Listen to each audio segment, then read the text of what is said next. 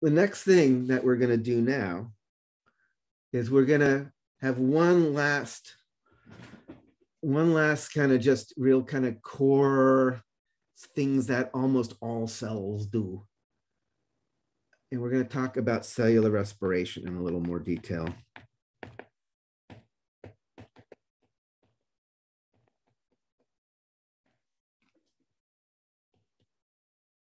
Um, there's all sorts of important metabolic pathways going on in cells that are, you know, eventually you'll learn more about. But this is the one we usually bring in just to give you a, a semi deep dive to get a sense of what are these pathways really looking like. This one is, again, in almost every one of your cells, like red blood cells don't do it. Um, there's a few cells that don't, but almost all your cells use cellular respiration to make their ATP to get the energy to do what they need to do. At the core of cellular respiration, what is the what is the formula that describes it? This, uh, what's the chemical formula that describes cellular respiration? The ATP equals ADP or A, yeah, that one. Um, no, that's more using ATP once you've already got it to deliver energy to some process. That's not cellular respiration is how the cell's making the ATP in the first place. C6H12O6 plus yeah. O2. Yeah, so we have this uh, and this. What's what's the other name for this little dude? Glucose. It's just glucose plus six oxygens and it becomes carbon dioxide and water. Carbon dioxide, water, energy. You know, and energy. And typically we'll say like 34 to 36 ATP ultimately is how we capture that energy.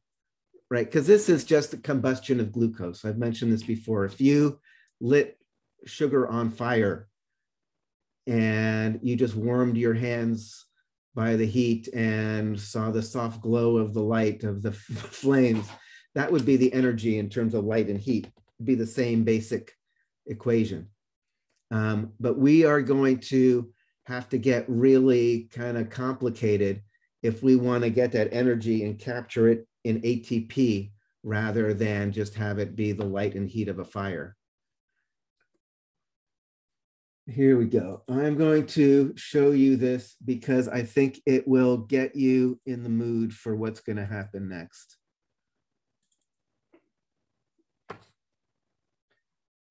Um, so this is a classic Rube Goldberg device, which if you've never seen these, they're, they're funny.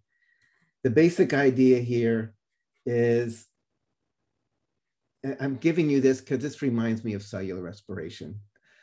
Something that seems pretty simple, like we drew that equation, which looks really straightforward. Sugar plus oxygen gives you water, carbon dioxide, and ATP. What could be simpler? Um, everything.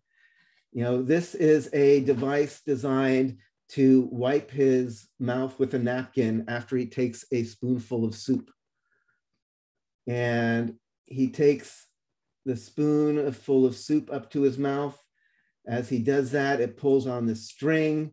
As it pulls on the string, it pulls on the spoon, which flips the cracker up into the air. Once the cracker is up in the air, the parrot flies over to get the cracker. And when the parrot flies off of this lever, it then lets the sand fall down into this little bucket. As the bucket fills with sand, it pulls on the string. The string then pulls and opens up this lighter. And then when the lighter turns on, it lights the fuse of this little rocket. And as the rocket flies up, it's attached to this little sickle knife, which cuts the string. And when the string gets cut, it frees the pendulum from this clock, which is attached to the napkin, which is going to wipe his mouth. So, and you're probably wondering, why am I showing you this? Um, because cellular respiration, at least in my mind, reminds me a lot of this. Um, we're going to start with sugar And by the end, we'll use six oxygens and we'll end up with six carbon dioxides and six waters and 36 ATP. But it's not going to be straightforward. During that process, we're going to have the energy stored, you know, in the bonds starting in the glucose, then stored in high energy electron carriers, the NADHs, as well as in pyruvates, and then in acetyl CoAs, and then go into the mitochondria and run through Krebs cycle and get more energy stored in more NADHs, and then use that with the cytochromes, these electron transport systems in the inner mitochondrial membrane to pump hydrogens and make hydrogen gradients. And now the energy is stored in hydrogen gradients. And finally, those hydrogens are going to come down through this membrane protein called an ATPase and ultimately make the ATP at the end. Um, but like I said, it's going to be lots of different steps. So when you're trying to understand um, cellular respiration, we're going to go back to the original equation and do kind of the tally to make sure that we start with the sugar and with the ATP, use up the oxygen, make the water and the carbon dioxide. But where that happens is not going to be intuitive if you haven't um, haven't looked at this before. Um, you know, we'll go into it in more depth than you would have looked at it in Bio 110. You know, less depth than you'd look at it in perhaps a majors biology class. But it's it's worth looking at and some of the intermediates along the way are actually worth getting to know as well because they play roles in other things that we're going to see. We are going to just knock out cellular respiration right now. Um, so we kind of stay on top of things. Um, and then we'll take our little break and we'll get into the lab stuff. Um, but so we are kind of going to continue with kind of content right now. And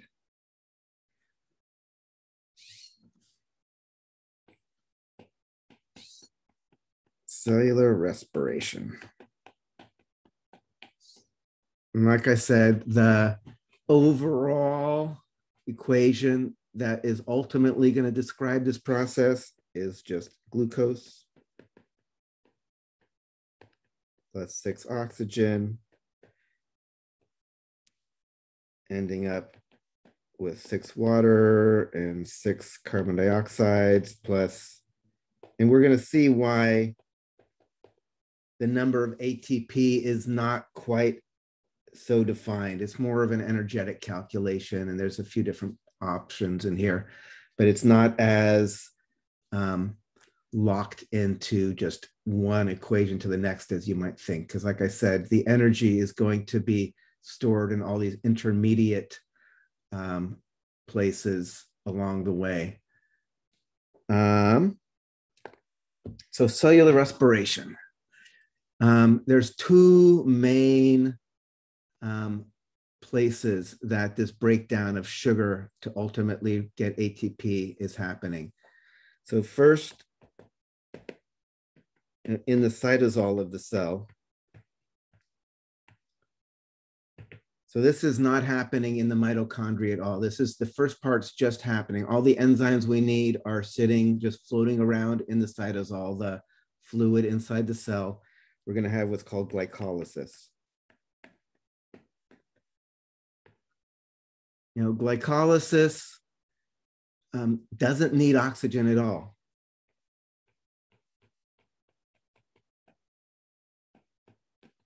So we say it's like anaerobic. Um, it does make some ATP, but it doesn't make much. You know, only get two net ATP. So it's a way of breaking down sugar. You don't even need any oxygen. You get some ATP. This will be useful. We'll see this in muscle metabolism in our fast twitch muscle fibers because it happens really fast. Um, this is how red blood cells get their energy. Um, but in general, it doesn't release most of the energy, right? There's enough energy in a sugar molecule to ultimately make 36 ATP.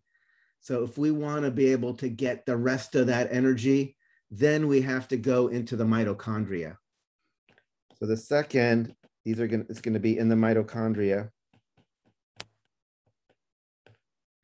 Then we're going to have this whole other thing, sometimes they call oxidative phosphorylation.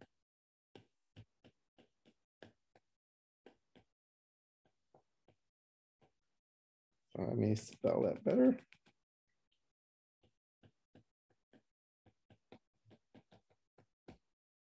Meaning it's using, so this uses oxygen.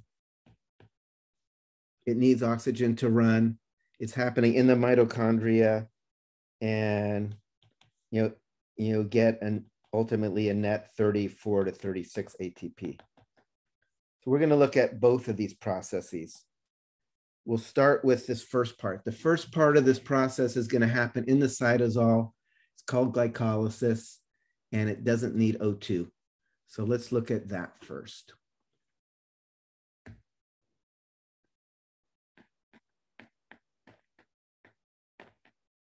And again, glyco, sugar, lysis break apart.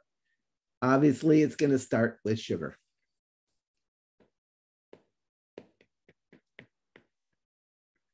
You know, C6H12O6. It's going to be a metabolic pathway. It's going to have 10 different steps. The first step is sugar becomes phosphorylated glucose. This is an intermediate.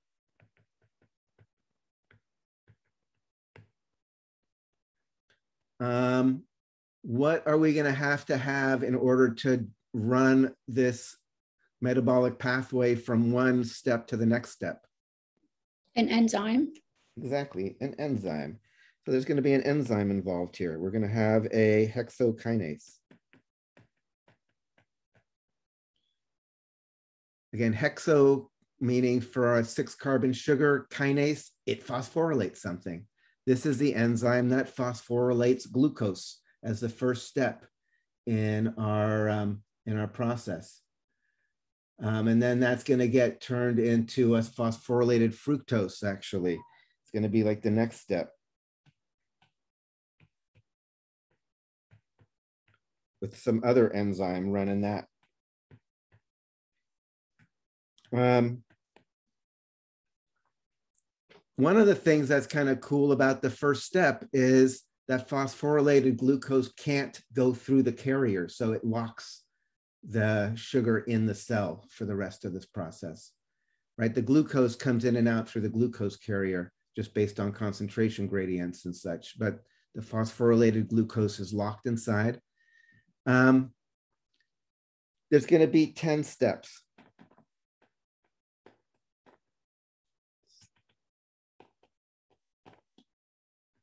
dot, dot, dot. Um, the end products of this whole thing after 10 steps, we're going to end up with two net ATP.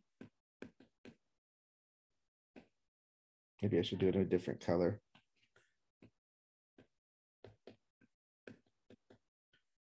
I'm saying net ATP because it actually takes some ATP to run this thing. You know, it takes ATP, it takes two ATP actually to make this whole process go. So even though you're making four ATP along the way, you end up with two that you didn't have to start with. So at the end of this, there's two net ATP. Um, and then the other place you have, you, the other molecules you end up with, you end up with two NADHs.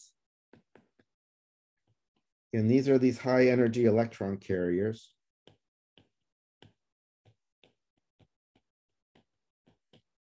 And again, if you remember, I've mentioned, I'll, I'll mention again, NAD plus, this is the kind of oxidized version, but what happens is it gets reduced. This plus a hydrogen plus two electrons becomes NADH. And when you see NADH, you think about electrons that are stored in a very high energy configuration. So again, imagine it's like taking um, it's like taking I don't know, water and putting it up into the reservoir at the very top of the hill. So you can let it roll down the hill to then do some work. When we let NADH contribute electrons to other things, as those electrons get transferred to another molecule in these redox reactions, energy gets released and we can use that energy to do stuff. Kind of again, the same, you know, the metaphor would be like we have water stored up in this reservoir and then we can let it flow down the hill and then we can put a paddle wheel, you know, in the in the stream of water as it flows down. And as the paddle wheel spins, we can use it to grind flour or run generators or whatever. So the same thing, when you have electrons that are part of NADH, they can get donated from this high energy configuration to another place where they're in a lower energy configuration. And as they like fall energetically, so to speak, you can capture that energy to do stuff, which we will be seeing. So whenever you see NADH, think about molecule that has got a lot of potential energy stored in its electrons that you can, you can usually use in special reactions.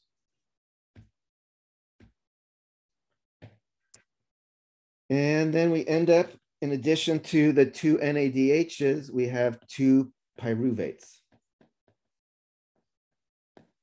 These are three carbon molecules.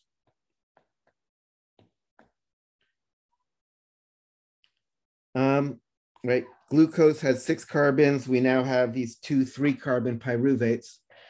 Um, there's still a lot of energy stored in the bonds of the pyruvate that we have not captured yet. So we have the two ATP, but if we ultimately want the 36 ATP, we're gonna have to milk this NADH and these pyruvates to get the energy that's still stored in there. But if there is not oxygen around, you still got some ATP. So you still got, a net win, but then you have these things left over. Um, if there's oxygen around, both of these are gonna go into the mitochondria for the next steps.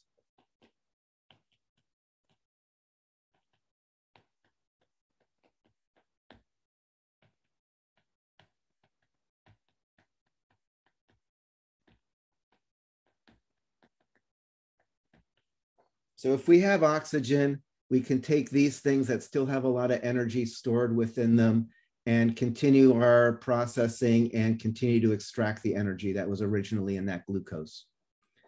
Um, if there is no oxygen, we can just call it good. Say we got a couple of ATP, and what happens is actually the NADHs um, give their electrons to the pyruvates, which accept them, and they make actually lactic acid.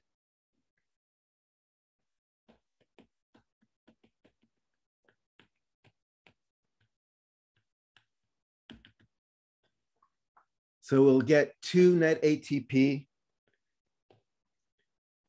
These guys just basically um, um, kind of cancel each other out. The lactic acid ultimately is going to go to the liver and get um, get regenerated back into other stuff and cleared out. Um, this sometimes they call this anaerobic respiration.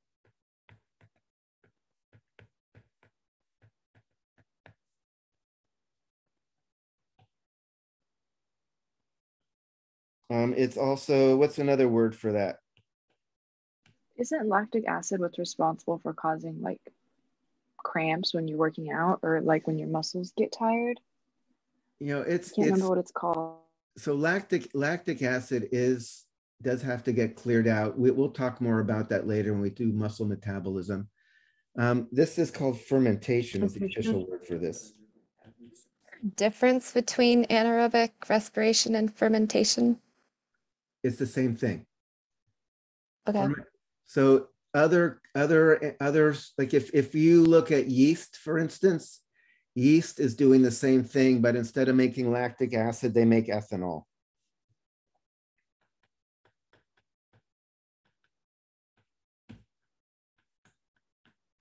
right? That's really nice for us because that's how we get wine and beer. You have like little yeast growing in either like, you know, grape juice or malted barley that's been like, you know, if- if you have sugar and yeast, they do this process of anaerobic respiration, make ethanol. That's how you get alcohol in your wine and beer. Um, in our cells, they do this anaerobic respiration, make lactic acid, which then ultimately is going to go to the liver to get converted into other stuff. Um, but so this is a place you can stop. If you um, don't have oxygen, or as we'll see in muscle metabolism, if you just need to make ATP really fast in this direct way, um, this is actually, this does occur in the, in the body. Um, I can share briefly. This is just a picture from your book um, showing kind of the you know more formal steps of this process, starting with glucose here. Here's our phosphorylated glucose, a phosphorylated fructose, you know, ultimately ending up with our pyruvate and ATP down here. Um, this is just the metabolic pathway occurring in the cytosol that is known as glycolysis. Um, it's actually worth paying attention to this little thing right here, this 1,3-BPG, which is just one of the intermediates of glycolysis. This is actually gonna come up later when we're doing the respiratory system. Um, when you have lots of 1,3-BPG in the cells, that's a sign that the cell's doing a lot of metabolic activity. It's actually going to affect how tightly hemoglobin binds onto oxygen. It's actually going to affect hemoglobin binding affinity for oxygen. We've talked about binding affinity. So when there's lots of 1,3-BPG, that's one of the things that actually affects hemoglobin's hold on oxygen. It'll make it let go of more oxygen because it's assuming there's more metabolic activity and we need more oxygen going on and this released into the cells. But don't worry, that's that's for later. But just kind of as a as a slight teaser, this 1,3-BPG will come in later as a you know as a kind of flag to the cell that there's a lot of metabolic activity going on, a lot of glycolysis happening in the cell. Um, So, any questions about the basics of glycolysis? It's happening in the cytosol. Starts with glucose, does not need any oxygen, you'll notice. Only makes two ATP, and the rest of the energy is still stored in our pyruvates and in our NADHs. All good? Um, you said that that's the main, the main way that red blood cells get their energy, right? Yeah, because they don't they don't actually do cellular respiration. I think partly because they have very little metabolic needs. There's not much going on in a red blood cell. They don't even have a nucleus, and also they are their job is carrying oxygen. So be kind of a you know you don't want them sucking you know sucking up oxygen if their job is to pick it up and take it someplace else so okay so what we're going to do now is take the NADH and the pyruvates into the mitochondria and just finish this process and see how those are broken down to get the rest of the ATP.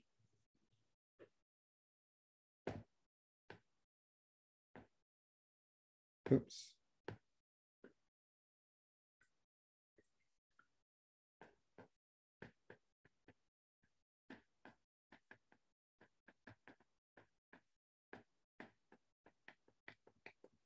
So now we're going into the mitochondria.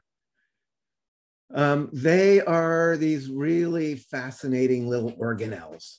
Um, do, do people know about the endosymbiont hypothesis of mitochondria?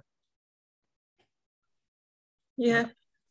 So what, what is the endosymbiont hypothesis? I think I think it's that once upon a time there was a prokaryote that ate um or it, basic if there's some prokaryote maybe some little bacteria kind of thing that got eaten by another cell mhm. but instead of just eating it and digesting it it took it inside and realized that this little thing in here is doing stuff useful and this thing became formalized as a little double membraned organelle I mean, part of the reason there's evidence for this endosymbiont hypothesis is that the mitochondria actually has two membranes. It has an outer membrane and an inner membrane, which tends to have more kind of folds to increase surface area. So there's two membranes. So This is like a mitochondria. I thought it also had to do with the fact that mitochondria has its own DNA. So it, it- that as well. So the, you remember the codons that that um, describe what are the three nucleotide bases that define one amino acid versus another. The code for your main genome has different codons than the mitochondrial DNA has. So the, that's more evidence that this mitochondria started out as a different creature that then got internalized. And at this point, mitochondria can't live on their own.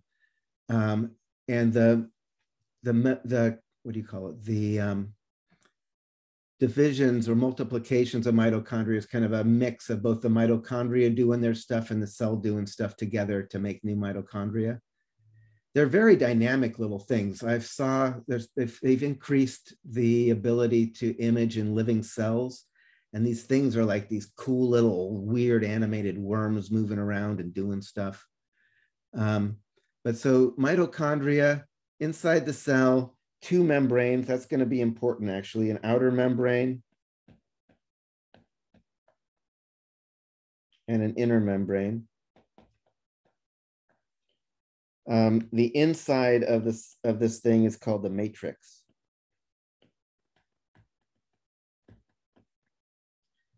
So we're going to do, let's take a look at this now and look at it in more detail.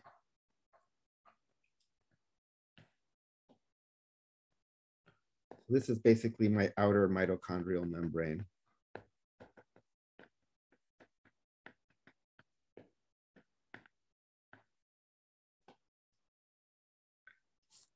Um,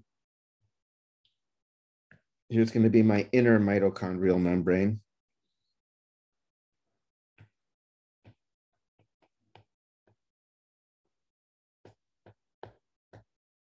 Right, this is just inside the cell here. Maybe I should call it the cytosol.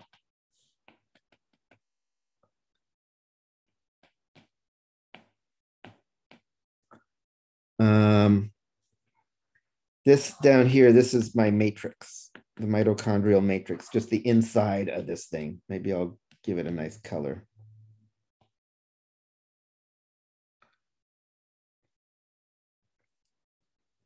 There's the matrix. And then the other piece that we should still pay attention to is that there is this intermembrane space in between there. That's going to be important as well. So this is the basic layout. So we have the pyruvates come in here.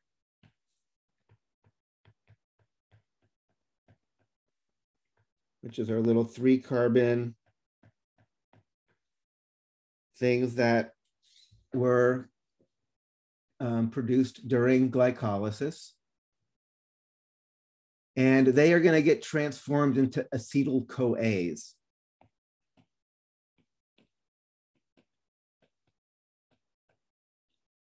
Let me spell that better. This is a little two carbon thing.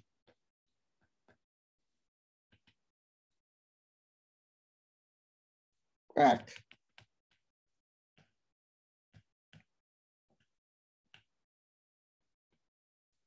Back again. There we go. So acetyl CoA is a little too, so it's another intermediate, we went from pyruvate to acetyl CoA. Um, while we're doing this, I might as well go back to our original C6H12O6 plus six oxygen going to six CO2 plus six H2O plus 36 ATP. If we want to keep track of this whole process, by the end of it, we need to end up with all of this equation accounted for. So we have the sugar accounted for. The sugar started the whole process. When we do this step, take the pyruvates, these three carbon uh, molecules, and turn them into the acetyl CoAs, which are these two carbon molecules. Obviously, a carbon gets um, released. The carbon that's released and goes off is going to be a CO2. You know, how many CO2s ultimately get produced for each glucose at this step?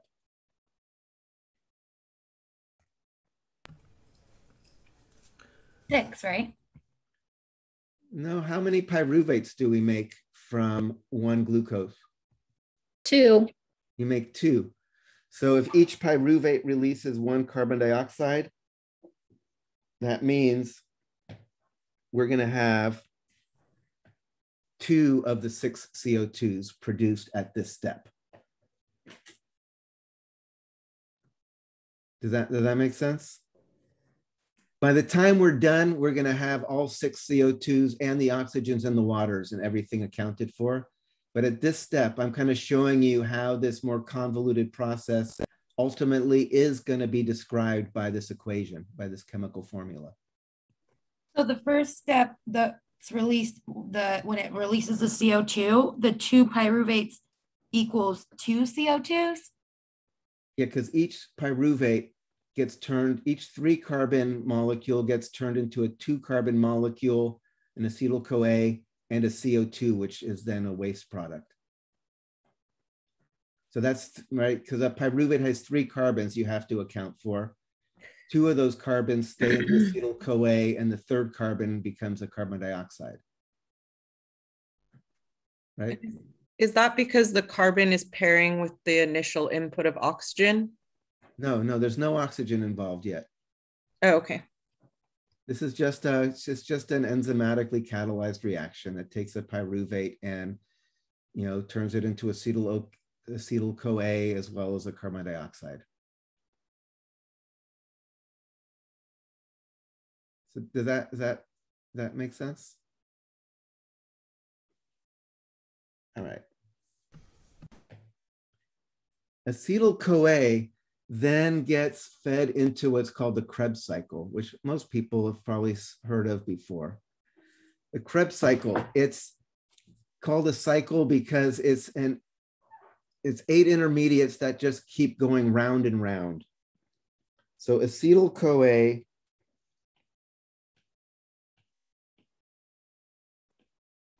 goes in with this thing called an oxaloacetate. You don't have to know oxaloacetate, but it's just a, an inter, another intermediate floating around here. And together they become citric acid.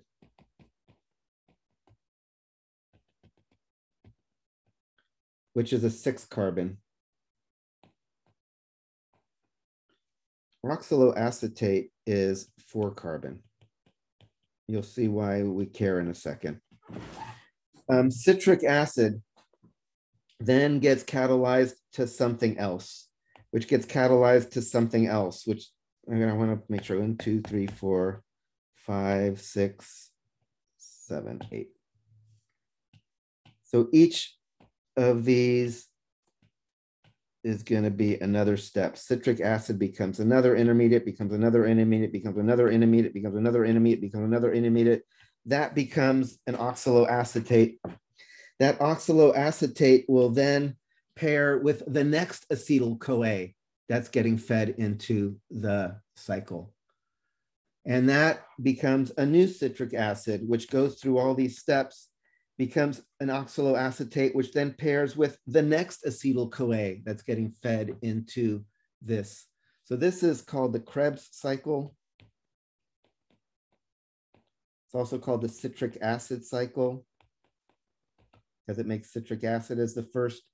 Citric acid is three carboxyls, so it's also called the TCA tricarboxylic acid cycle.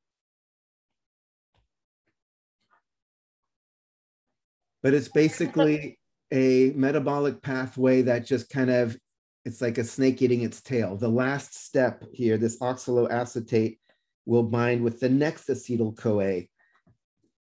Um, question? You just answered, you just answered it. Thank you. So in this process, let's talk about why it's useful. So first, actually, let's just follow the carbons while we're here. If we go from a six carbon citric acid at the beginning to a four carbon oxaloacetate at the end, that means we've lost another two carbon another two carbons for each spin here, right? So that's going to be two more carbon dioxides released for each acetyl CoA that eventually that ultimately enters the the the Krebs cycle. Does that make sense? If we spin from the beginning here to the end, we've lost two carbons. Those two carbons go off as two CO2s. Right, because we have to all, however, we have to have six carbons by the end. There's six carbons to start. At the end, we have four carbons in the oxaloacetate and two carbons that left as CO2s. Now we're at a total of four carbons, right? Um, That have been lost. although, except because we have two pyruvates, right? We're going to have two spins of the cycle for every initial initial sugar. So we're going to have actually four more. This is going to account for all the rest of the carbon dioxides here.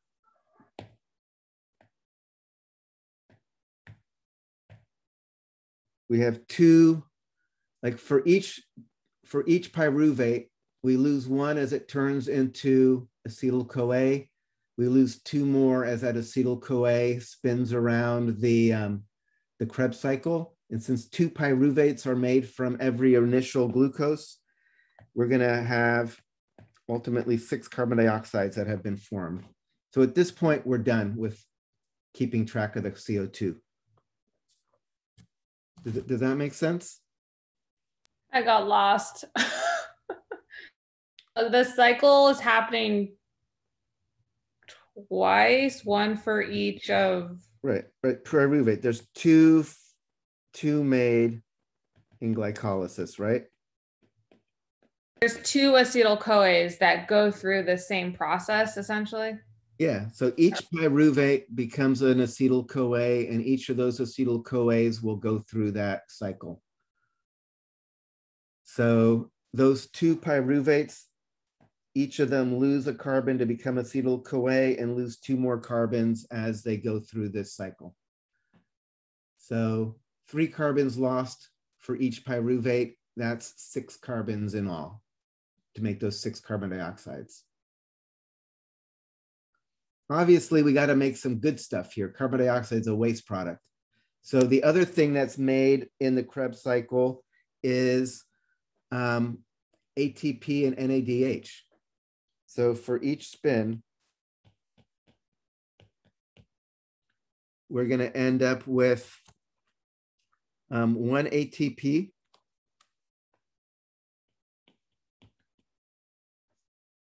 and we're going to make a whole bunch of, we're going to make three NADH and one what's called FADH, um, which is just another another electron carrier. So FADH is just, an, you, you don't worry about the difference. It's the same basic kind of character. NADH and FADH are both things when you see them they're holding on to really high energy electrons that you can give to something in redox reactions and release that energy and capture it so if we think about this now from the original glucose. If we spun around this Krebs cycle twice, we've just made two more ATP. So if we kind of go back to our accounting here, from glycolysis, we've made two ATP, right? We talked about that, two net ATP from glycolysis. We just made two more ATP going through two spins of the Krebs cycle. But still, we don't have the 36 ATP. So where is that energy? That energy is still stored in all those NADHs. A quick question. So for the two cycles, based off the beginning of the two pyruvates, we get two ATPs, six NADHs, and two FADHs, or just Exactly. Yeah, Okay. exactly. Exactly. So now what we got to think about, we have a bunch of this NADH floating around, which has got a lot of energy in it. In writing, we had NADHs from two NADHs from the original steps in, in glycolysis as well. So we need to still get that energy that's stored in NADH and somehow make it into ATP, right? Because that's what we want. We want ATP, but right now, most of our energy is still stored in this high energy electron carrier. So the next step is going to be what's called the electron transport system or the electron transport chain, which is kind of cool.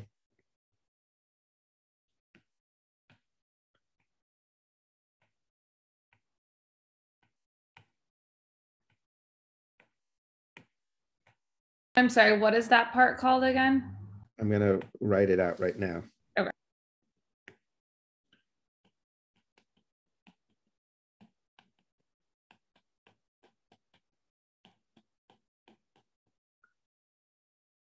You know, these are called the, the, the actual membrane proteins are called cytochromes. And these are specialized to, if you can think of it kind of like a waterfall for electrons. The NADH comes here. It gives two electrons into this electron transport system. You know, and then we just have NAD plus plus H plus comes off here, right? So NADH breaks apart, donates its high energy electrons. And basically, each of these cytochromes, each of these specialized membrane proteins, is basically catching electrons at a slightly lower energy level. So the electrons keep getting handed off from one to the next. Um, again, think about it. If you think about it as kind of the metaphor of gravity, potential energy with respect to gravity, um, I could have this thing that I lift to a really high level that would be like held in NADH. And then I can drop it, let it fall to a lower level. And as it falls, I might be able to capture that energy through a paddle wheel, then drop it to even lower level. As you as the electrons get handed off from one cytochrome to the next, it releases energy as the energy, as the electrons land in a lower energy state.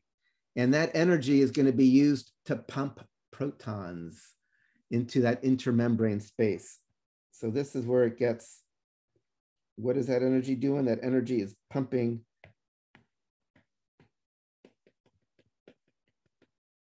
pumping protons. H plus, right, is a proton. Hydrogen ion is just a proton. So H, I'll say H plus, or I'll say protons. It's the same difference. So the energy created does what? The energy that is released as the electrons from NADH go through this electron transport system, pump protons into this intermembrane space and create this major proton gradient where there's a lot of protons here compared to inside the cell. So if here I can, this will be useful maybe. Um,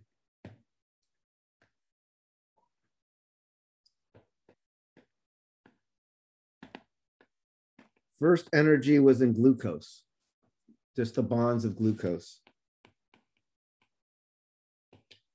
Then we had two ATP plus kind of the bonds of pyruvate and the electrons in the NADH. That was glycolysis. So the energy first was in the bonds of glucose, then we had a couple of ATP where that have energy, but we still have a lot of, um, whoops, what am I? We have energy stored in the bonds of the pyruvate molecule and also in the high energy electrons in the NADH. So this was glycolysis. Now we're in the mitochondria. Um, we have kind of more, more ATP that's formed, but then lots of the energy stored in the electrons of lots of NADH. And then we use those high energy electrons through that electron transport system to pump protons into that intermembrane space. Um,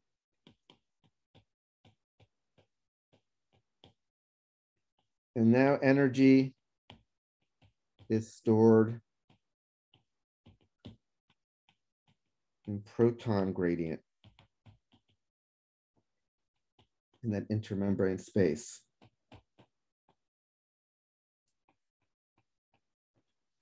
So the energy started out in the bonds of glucose. Now the energy is actually stored in a concentration gradient of protons. That's why I said it's like a Rube Goldberg thing.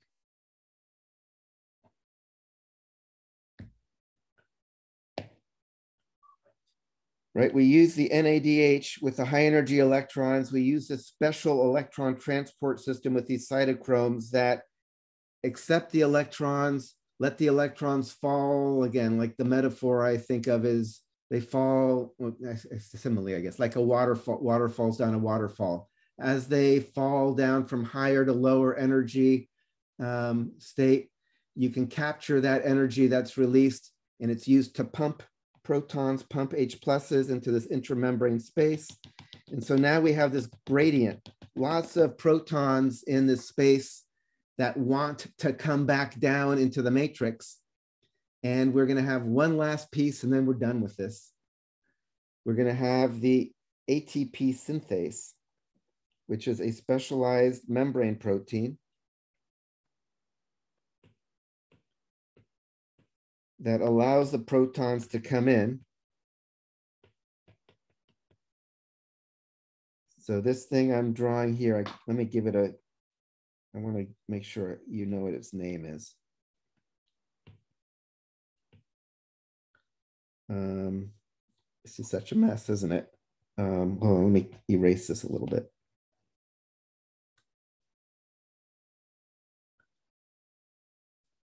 This is going to be called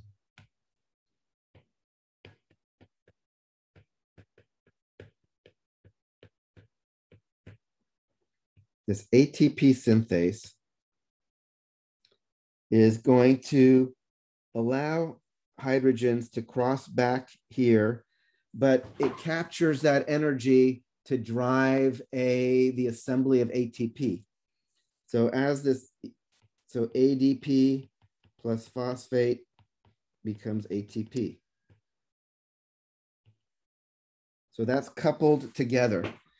These things actually look like little rotors. It's actually kind of crazy. If you look at them, they're these little molecular machines. As the hydrogens go from one side of the membrane to the other, it actually physically changes the shape of this thing and drives the um, production of ATP. I have a quick question. Uh-huh. Um, when you said the cytochromes, they when they drop to a lower level energy level, um, and it captures the energy, does it also increase the energy, or does it just capture all of it? And it, then it, it, can't increase. It only just transforms it from one form to another. Oh, okay. Right. Kind of the same way if you have a reservoir, you know, water at the top of the hill and it's going down and, you know, you know, driving a turbine for a for a generator, you're only going to get as much energy as was originally stored in the potential energy due to gravity that the water had. So it's just transforming it from one form into another. So the electron transport system, sometimes it's called the electron transport chain, is converting the energy that is stored in the electrons of the NADH into energy stored into the proton gradient concentration or concentration gradient of the protons. Okay, I think the protons kind of confused me because I thought that was kind of pushing positive energy into, but that has nothing to do with it. Nothing to do with it. Okay. okay. All right, so now if we kind of go back, Sorry, can I just clarify something really quick? yeah, Um, okay, so once the H, H plus is in that intermediate space, then you're saying um, the ATP synthase moves it back into like the matrix area as ATP. well, no, it, so the last step, lastly, you know, this energy in the concentration gradient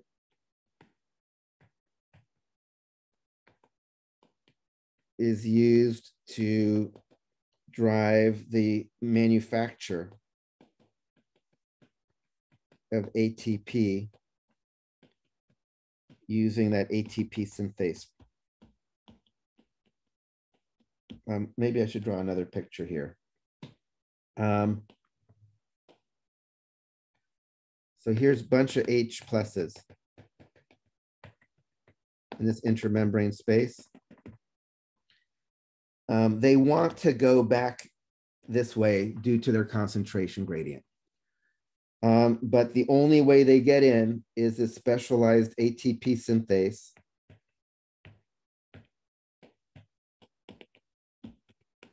This membrane protein here in this inner membrane, it allows the H pluses to come in, but it couples it with the manufacture of you know ADP, adenosine diphosphate plus inorganic phosphate becomes ATP. Normally, this does not run on its own, right? It takes energy to make ATP. The energy to actually assemble the ATP is coming from the energy that was stored in this gradient. And because of this specialized membrane protein, this ATP synthase, like I said, it's it genuinely is like a little turbine. As the H pluses come through, it actually kind of moves and um, drives the synthesis, the, it catalyzes the synthesis, right? To make ATP, it's ADP, which is A, you know, plus inorganic phosphate to make ATP, Just is adenosine with three phosphates. So it So- must couple with the hydrogen ion in order to create the ATP. the ener- it has to it yeah the movement of the hydrogen ions through this membrane protein is linked to the manufacture of the ATP. The energy to make to make this reaction happen comes through a linkage of the extracting the energy of this concentration gradient. So it's like stored kinetic energy in a way, No, it's stored. It's well, it's it's potential energy stored in potential gradient. energy rather. Yeah, so it's potential energy that gets converted to kinetic energy as the as the ions flow across, and that is used to drive the manufacture of the ATP. I have a question. Uh-huh. And so the way the oxygen comes into all of this is that it's the final electron acceptor. Exactly. So good. Um, yeah, normally people people don't pick up on that. So I'm glad you brought that up. So let's talk about that. So again, the pumping of the oops. The pumping of the protons is happening via the cytochromes. So here's my cytochromes in my electron transport system.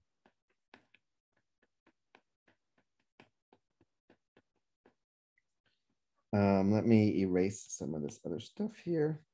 Just kind of in the way.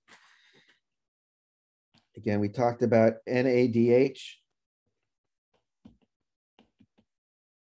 Breaks apart, feeds two, two electrons, go into here, you know, and then it becomes NAD plus plus H plus out here. But so these two, these two electrons are going in, going through, pumping the protons. But some, you know, electrons don't just fall into space. Something has to accept them at the end of this whole process. So you basically need something that can hold, capture the electrons and take them away, or else this whole thing's going to back up. And that is where oxygen comes in. Oxygen is famous for having this really low electronegativity. It is something that holds electrons like down in the basement, so to speak, right? It's where they can fall to like this lowest level. So at the very end, you basically get these two electrons plus an oxygen plus two H pluses. And what is that going to become?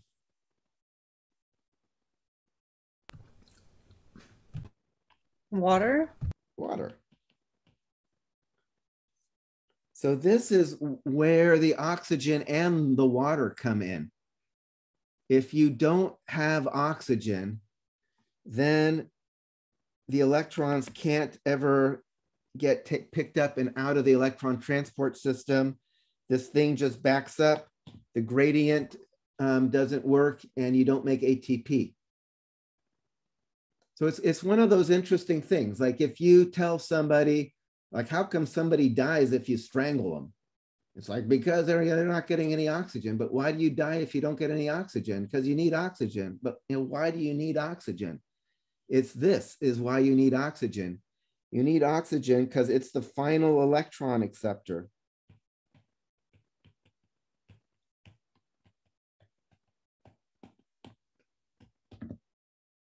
You know, oxygen can pick up the electrons and take them out of this chain and free it up for the next round.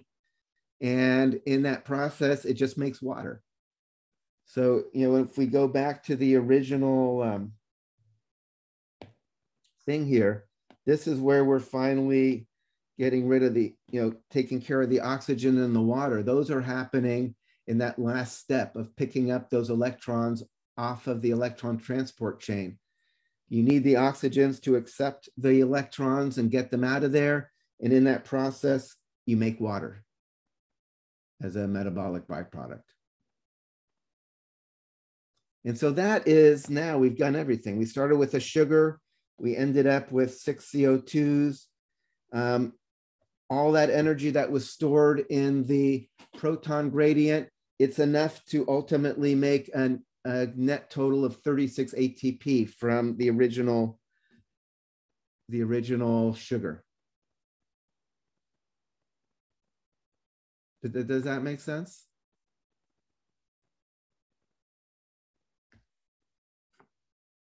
Right, so we start with glucose. From glucose, we have the energy stored in like, you know, we, we had some ATP. Then we have energy stored in pyruvate and NADH. This becomes, you know, acetyl CoA. Acetyl CoA goes into the Krebs cycle. We make lots more NADH. So now we have lots of energy stored in these high energy electrons.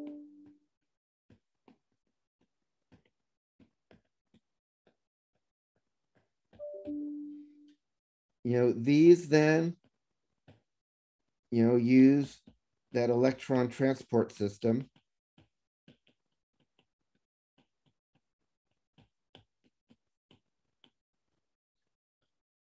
You know,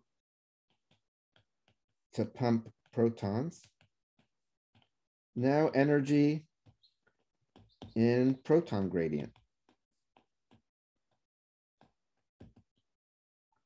You know, so we started here one, was in glucose. You know, two, it's all stored in the NADH. Um, three, the energy is stored in the proton gradient. And finally, we use that energy stored in the proton gradient to drive that ATP synthase to actually make the ATP, which is what we want in the very end. You know, for use gradient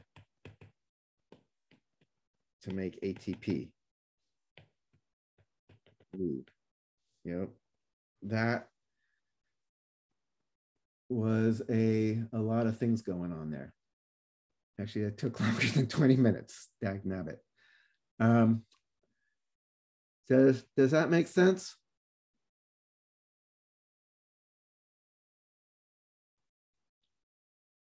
Um, you know, when you're, even if it makes sense, you know, with the next, you walk away from it, it won't make sense. But if you just read it a few times and your book goes through it, it will make sense.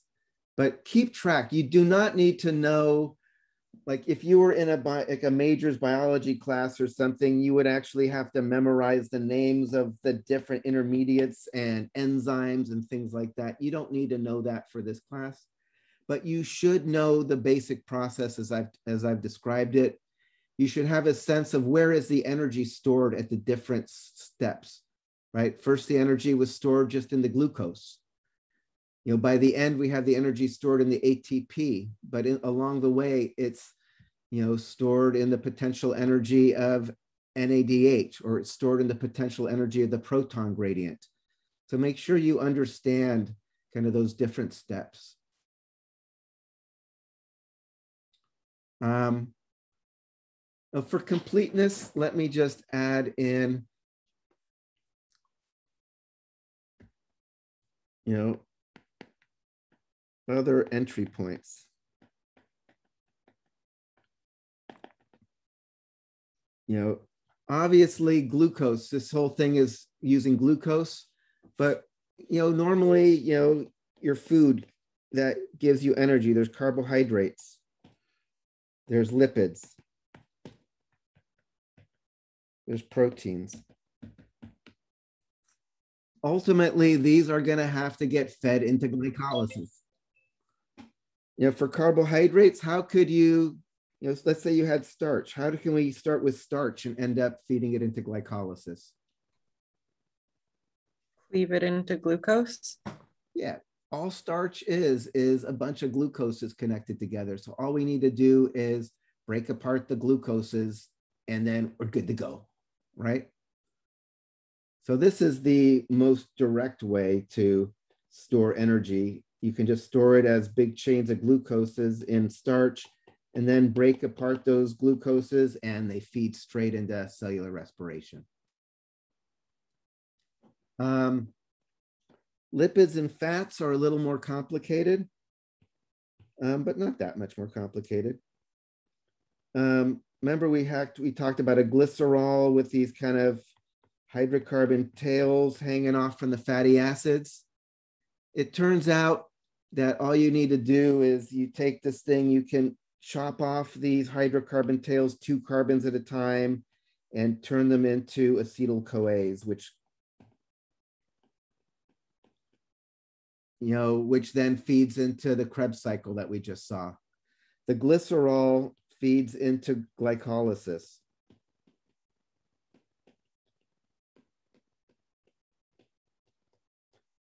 Right, so it takes more work to take a fat.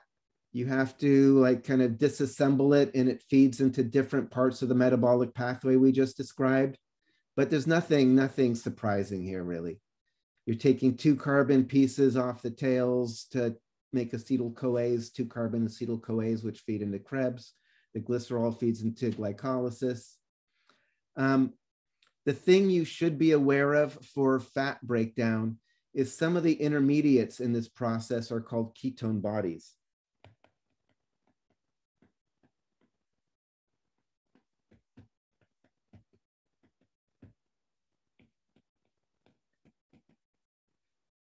Um, the reason why you want to know this is that if they are showing up in your body, they show up in your analysis.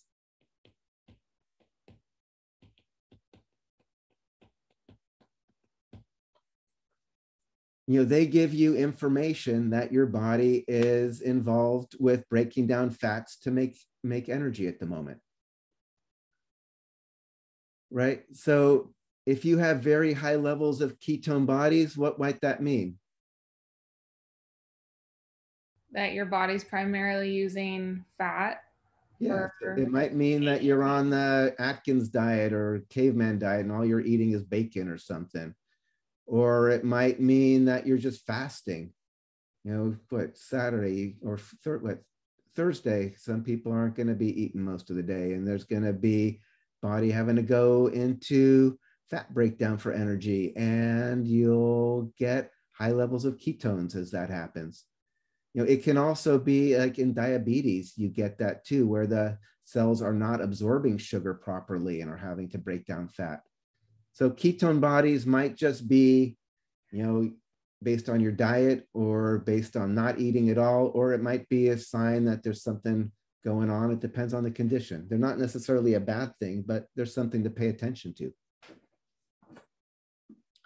Um, proteins. What's the building block of a protein? Amino Acids. Amino acids. Yeah, the amino acid.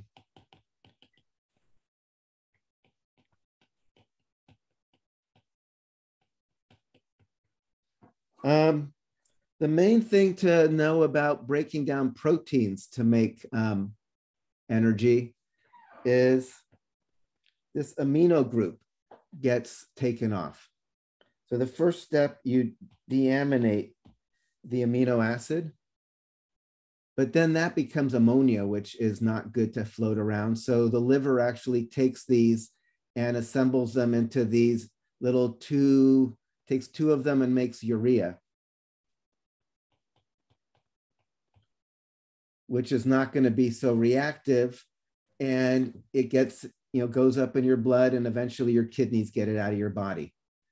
So urea gets formed as this nitrogenous waste as your body is deaminating proteins to make break them down. And then the rest of this thing, you know, it depends on what type of amino acid it is. Some amino acids are going to get fed into one part of the metabolic pathway versus another. But the main thing to know about about um, breaking down proteins for energy is that the first step is deaminating.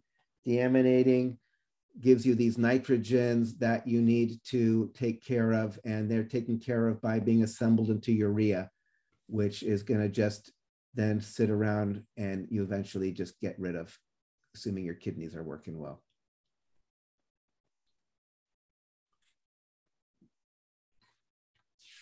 You know, when we talk about functions of the kidneys, you know, getting rid of nitrogenous wastes, that's one of the big, big, ma- the major nitrogenous wastes we talk about, that urea from protein breakdown.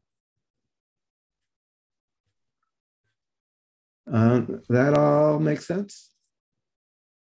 So elevated urea in the blood, or sorry, in the in the urine. What might that indicate? That I don't know. I don't even even know what an elevated level of urea would be. So yeah, I don't know.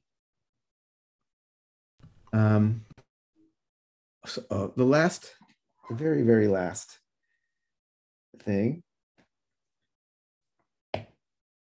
I will put in here for completeness, complete completeness, gluconeogenesis, partly because it's a cool word.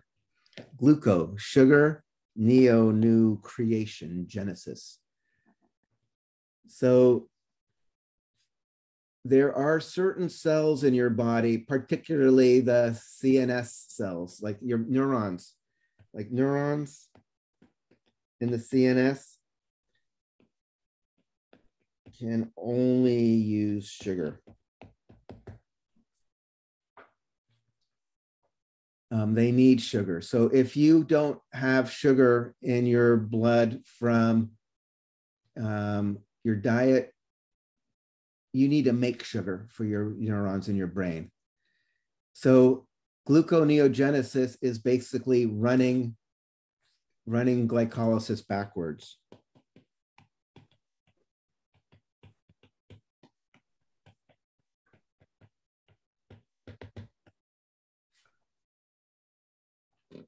It, it, it does almost all the same steps. It's slightly different. Um, and obviously, it's going to take a little bit of energy to make it run. But it's basically making new glucose so you have it for the cells that need the glucose to, to do their, to get their energy. So you should know about gluconeogenesis. It's just, it means making glucose from scratch, basically. Instead of breaking down glucose into other things, you take other things and make it into glucose.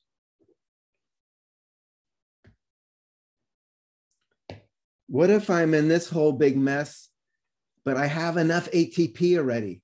I don't need more ATP. What am I going to do with my with my metabolic pathways as I start releasing all this energy from sugar? Start storing sugar? Yeah, I can use these acetyl CoAs and I can start assembling together into fats. You know, so I'll start storing instead of storing sugar. You, sugar is not the most efficient way to store energy. Fat, you can get two and a half times as much energy in the same amount of weight. Uh, you know, one gram of fat has two and a half times as much energy as one gram of carbohydrate. So fat is much more efficient way to store energy. So if you have enough enough ATP already, you can just break down the sugar, but then like store it as fat for a rainy day, which is a nice, yeah, it's good. Um, so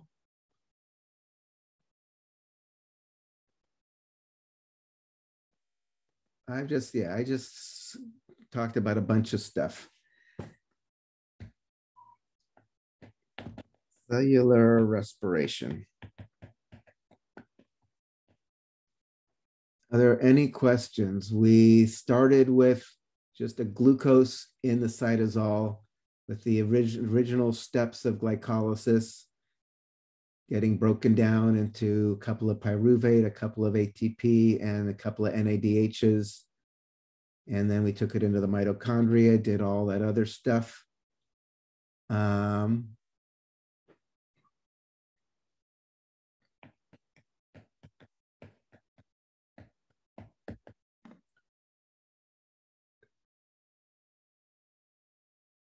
Any, any questions before we walk away from this for a bit?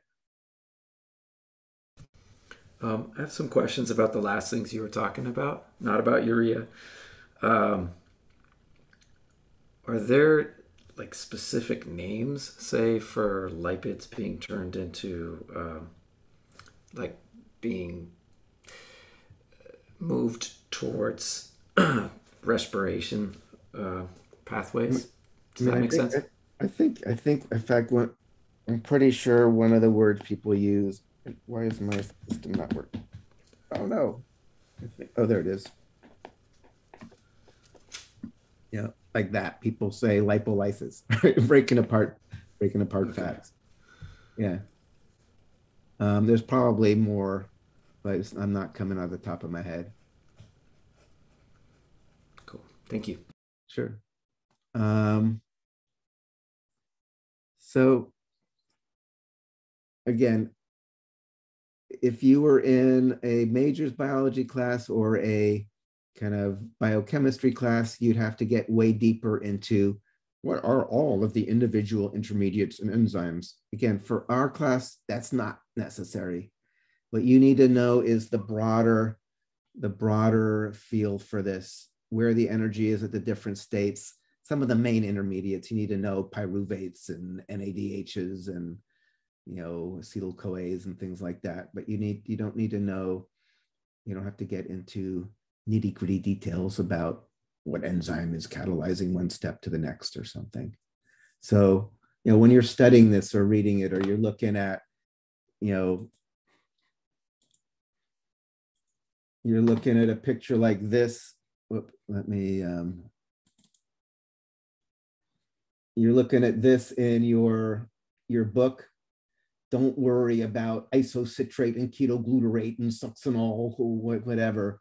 You know think about oh here's the citric acid cycle or krebs cycle and it's making lots of nadh with these high energy electrons that are going to be used to pump electrons and it's making a bit of atp You know, so think about the citric acid cycle or the Krebs cycle in the big picture.